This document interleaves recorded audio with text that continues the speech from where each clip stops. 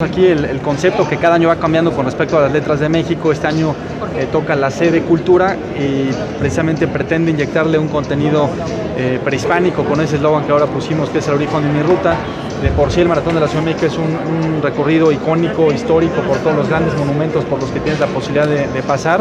Además de esto vamos a estar también poniendo una estrategia específica para poder pues, reconocer todos esos grandes valores y toda la historia que tiene nuestro, nuestro país. Sí, ya desde el año pasado están nueve transcripciones, si no mal recuerdo ahorita estamos hablando como 70% de ventas la parte del maratón, 65-68% la venta de la parte del medio maratón, quedan por supuesto algunos meses por delante.